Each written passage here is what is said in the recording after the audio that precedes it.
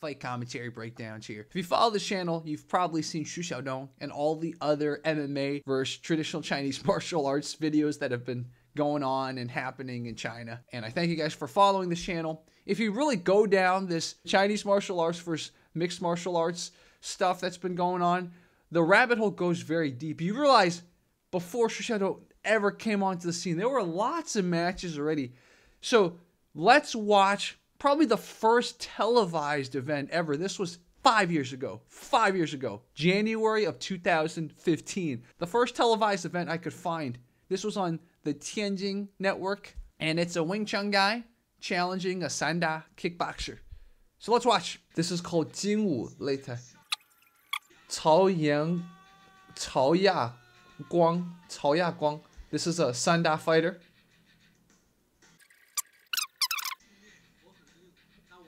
So he's like, I respect this Wing Chun master, but um, I will fight him to 100% my ability. Oh, this is going to be a slaughter, man. They're going to be slaughter. Here it is, Wing Chun master. Yang Chengzhang. Yang Chengzhang. Yang Chengzhang. Here it starts. Wing Chun guy is shorter, taking a kick. Oh my god, Wing Chun guy has reached disadvantage. This is bad.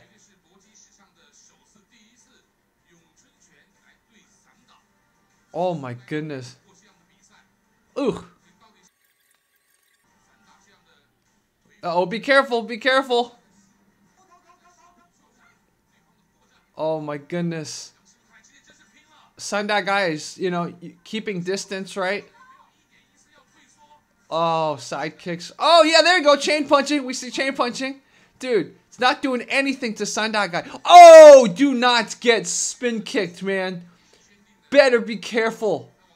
Don't just don't just do chain punches. Do some of the other stuff. Some of the other Wing Chun stuff. That was the end of the first round. Oh my god. He's gonna knock the F out, man. He gets to see a son. His son's here. Ah, that's so cute. Put the put the mouth guard on your. Of course, a Russian lady as the ring girl. Chinese people love these white monkeys, as they call it. They love to, you know, uh, have white girls and white guys represent different things. So it's really funny they got a white monkey type of job for the Russian girl. Anyways, also guys, this was a few years ago, right? So So our Sanda guy, I think, either he's just taking it easy, or he was told to take it easy because he's not going full force, man. He's not going full force at all. Ugh. Dude, our Wing Chun guy has no sense of like distance management, man. Don't ugh, yeah, no, no, no, no. Oh. Oh. Man. He ate a rib. He ate a rib. He ate a rib. Ow. I wonder if Wheezing, whatever company, Wheezing, I wonder if they endorse it. It's almost filmed like a TV show, like a docudrama. The editing was so bad. Oh, the son's crying. So the son's saying, I've never seen my dad hurt like this before. Wow. That looked like a rib kick, man. That looked like a rib kick. For the sake of trying to make Kung Fu look good. Oh, look at the Sanda fighter helping him up, man. Oh, shaking hands. Wow. Oh, yeah. I think his rib's broken. Don't touch that area. Don't touch that area. Wow.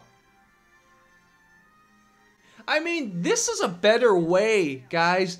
This is a much better way to celebrate this than to, like, you know, either fake it or to ban people. Like, give them a chance. If they lose, give them some props for trying, but also tell them the stuff you're doing doesn't work. Like, I like this approach. I don't know why Chinese media didn't do more of this. Our Wing Chun guy ended up with a broken rib, and I tried to look him up. I tried to see what he's been up to since. There's not a lot of information.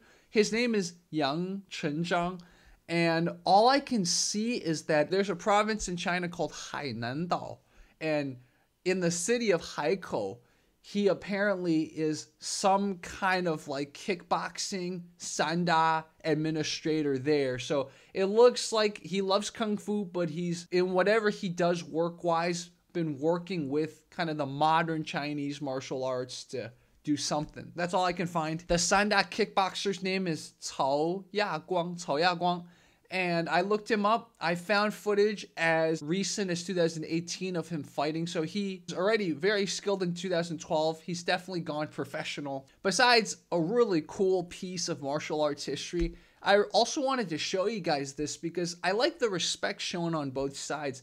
There wasn't much smack talking there wasn't much kind of oh you're gay you're stupid you know you're a traitor you're a fag you know none of that stuff right? It was just this guy thinks he has a skill he wanted to challenge it the people putting on the events like yeah let's see what goes on etc etc and i get it the modern day is different 2015 was very very different social media just wasn't the same the algorithms and everything i used to work for a company a lot of you know tiktok top buzz you know, stuff like that. I used to work for that company. So that company just started in 2015, right? All this machine algorithm, predictive kind of stuff to get you hooked on a website like YouTube or hooked on an app like TikTok or Musically. That stuff didn't exist in 2015 or just started basically. In our modern day, it promotes more of the bickering, the kind of back and forth. That's all I have to say. Thank you guys so much. Thank you again for following Fight Commentary Breakdowns we have a lot more of martial arts history coming up. Bye bye.